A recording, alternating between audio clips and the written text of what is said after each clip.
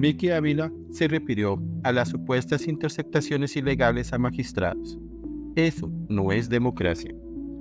La periodista aseguró que, de ser ciertas las chuzadas, la intención del gobierno nacional sería callar la justicia y someterla. Luego de que se hiciera pública la preocupación de un magistrado por las presuntas interceptaciones ilegales que estaría haciendo el gobierno nacional, la fiscal general Luz Adriana Camargo anunció que una comisión especial del ente investigador sería la encargada de recopilar información sobre lo que estaría sucediendo.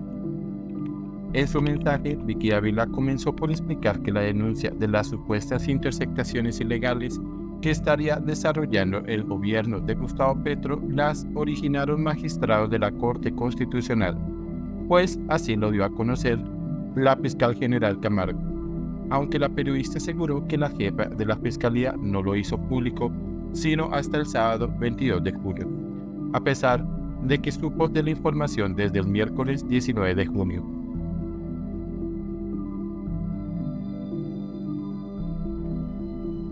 En su mensaje, Vicky Ávila comenzó por explicar que la denuncia de las supuestas interceptaciones ilegales que estaría desarrollando el gobierno de Gustavo Petro las originaron magistrados de la Corte Constitucional, pues así lo dio a conocer la fiscal general Camargo. Aunque la periodista aseguró que la jefe de la fiscalía no lo hizo público sino hasta el sábado 22 de julio, a pesar de que supo de la información desde el miércoles 19 de junio. La Fiscalía de Camargo dice que tiene una política de comunicación para informar a la ciudadanía de manera clara, oportuna y transparente sin embargo, ¿por qué si Camargo conoció la denuncia el pasado miércoles solo informó a los colombianos hoy, después de que los medios destapamos semejante escándalo? aseguró David.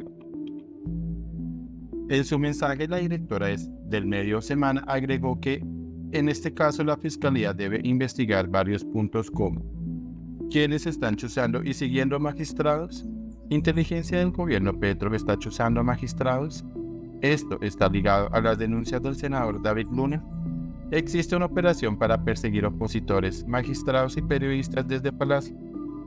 ¿Quién da las órdenes? ¿Quiénes las ejecutan? ¿Por qué? ¿Para qué?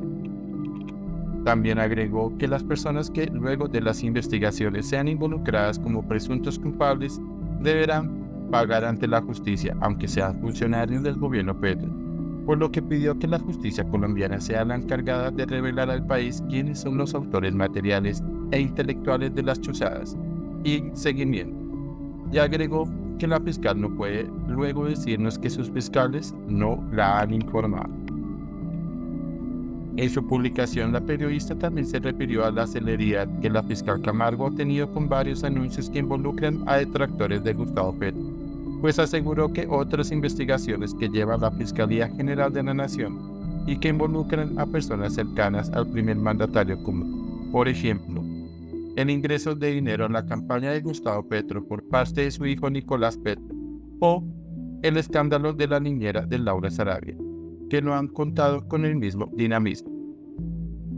Los medios y los periodistas seguimos haciendo la tarea, haciendo reportería, Siempre hay una fuente dispuesta a contarlo todo para que el país sepa la verdad.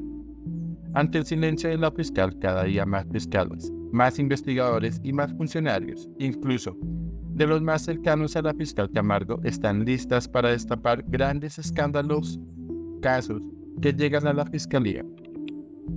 La fiscalía no puede trabajar de espaldas al país, agregó la periodista. Por consiguiente, Vicky Ávila aseguró que el silencio no puede ser una opción ante el crimen y se refirió a que la posibilidad de que desde el Departamento de Inteligencia Nacional, como lo denunció el senador David Luna, se estén llevando a cabo interceptaciones ilegales, demostraría que desde el Ejecutivo se espera callar la justicia y someterla. Si chuzan y siguen magistrados es porque quieren callar a la justicia y someterla. Eso no es democracia concluyó Dávila en su publicación.